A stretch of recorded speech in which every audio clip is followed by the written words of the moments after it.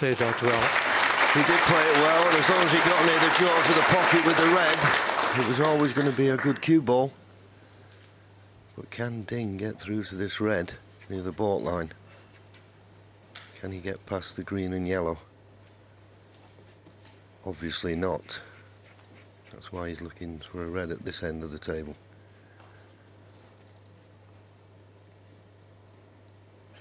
Neither player can afford a mistake. Or if they do, they need a bit of luck.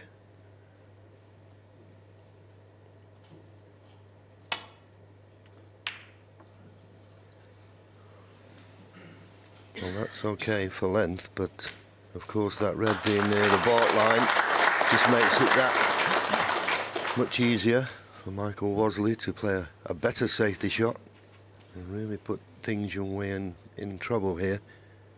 If you can get that cue ball back to where it is now.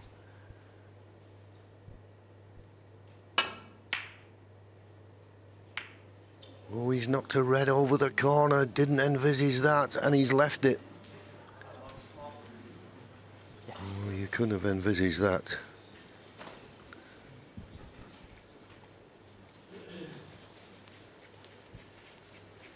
Your worst nightmare come true there. You just never think about something like that, would you? You just think, well, as long as I get a good cue ball, you didn't expect to knock this red right over the pocket so it's unmissable.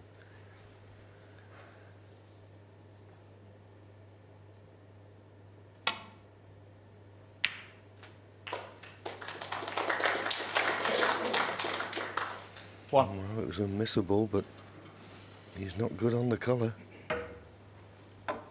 This is missable. Yes, if you hadn't clipped the pink there, he'd been on nothing. He'd have been in the middle of nowhere. At least he's got a chance of a pot. Once again, hasn't considered the safety side of it. He's going to go for them.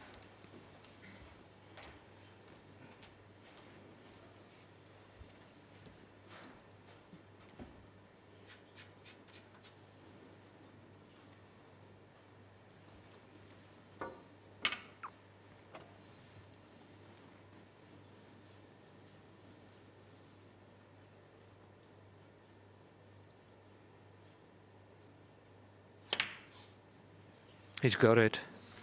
Oh, and he's wobbled his good ball in the, in that corner pocket. Didn't want that. Not No. easy now. He concentrated so much on the pot and was, in a way, Seven. just thinking if he potted it, it was bound to be on a red. Deciding frame, things don't always work out that simply. So he needs a good pot here. He's looking at the cut, but it's a thin one. He's got a red to the far right corner, which he doesn't seem to have looked at yet. Got to be careful he doesn't go in off in the middle of this.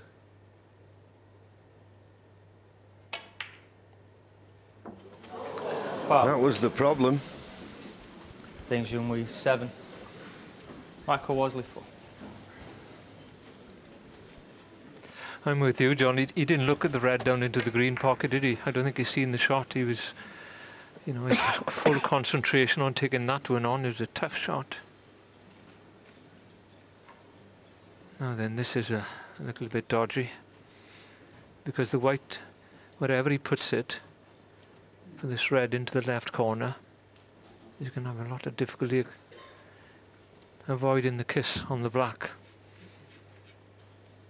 Tough shot. Big shot to go for at this stage. 14 points the lead. Went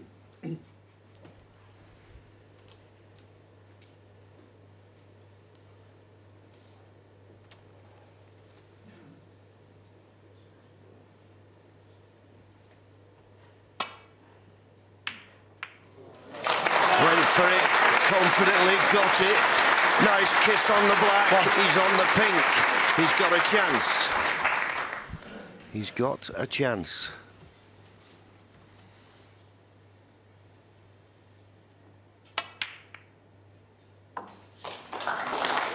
Now, what is he on? Seven. Well, the red that's closest to the cue ball will go to this right corner. It's a thin cut, but it will pot. I don't know whether you can get past the black to cut the red in just below the pink back into the right corner. I'd rather be playing the one to the that's closest to the cue ball. Well, he's going to play the snooker.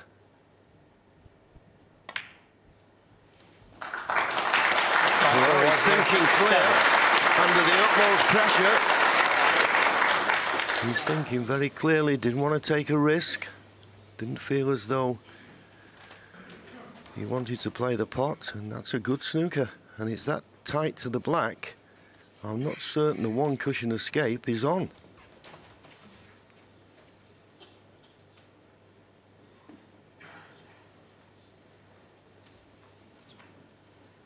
Twenty-one points behind his opponent at the moment, looking for two reds, two colours.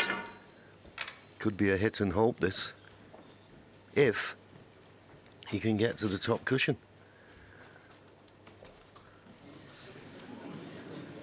He's having a close look if it's touching.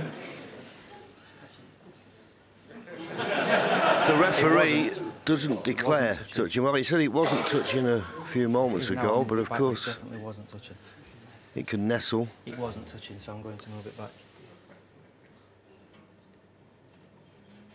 There, it's just a fraction off, okay? It Wasn't touching when I first looked, man. It's just a fraction off. And that's made a big difference. Because you couldn't play played off this cushion then if it was touching. You'd have to gone off the side cushion, made it a lot more difficult. Not just to escape from it, but to get the ball safe as well. Can play this gentle and just drop on the red. Well, he didn't do that. Oh, and he got out of it. Could have gone anywhere that one.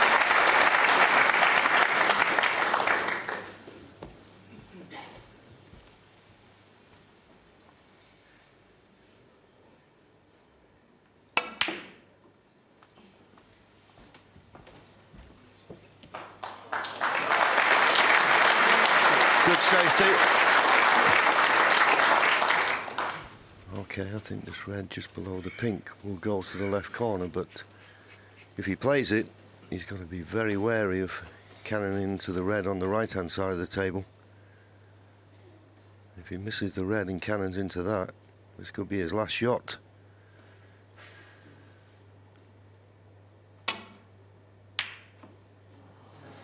Well, he missed the pot. Thankfully for him, he missed the, the cannon and he's finished up snookering Michael Wasley on all three balls. How do you like them apples?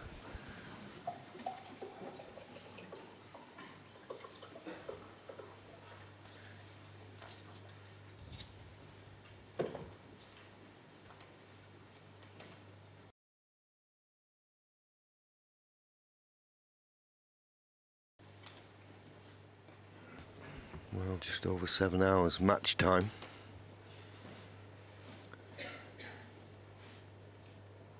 I mean, you always look at the red that's closest to the cushion to see if you can nestle on that, but this red that's closest to the the top cushion, okay, you could nestle on it, but if you just caught it wrong, you could knock it on. And he's got to be wary of the blue in the middle of the table. Well, that's nowhere near. Foul, Nimas. Ding Junhui four.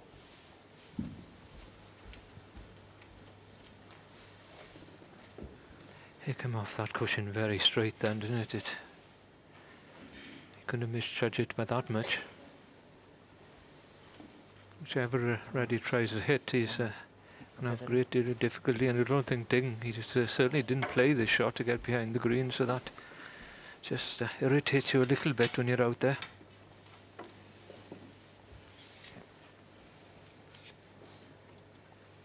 Change of heart. Hmm. Got the big stuff out. Well, I thought he might be coming off the two cushions, but he's coming off the Two cushions to try and hit these from behind. Foul. And a miss. And that's Ding not Junhui worked out. And these points are all adding up in favour of Ding Junhui. the only reason I put that line up before is I just thought that if he hits this red near the top cushion, you could get it safe. Is that Michael? Even coming off two cushions here, if he hits the, the right hand of the two reds, he could leave the other one onto the middle pocket. Does he catch the jaw? Yeah, that's the other problem he's got. And Ding Junhui is quite happy to take these four-point penalties. Because all of a sudden, he's only nine points behind now.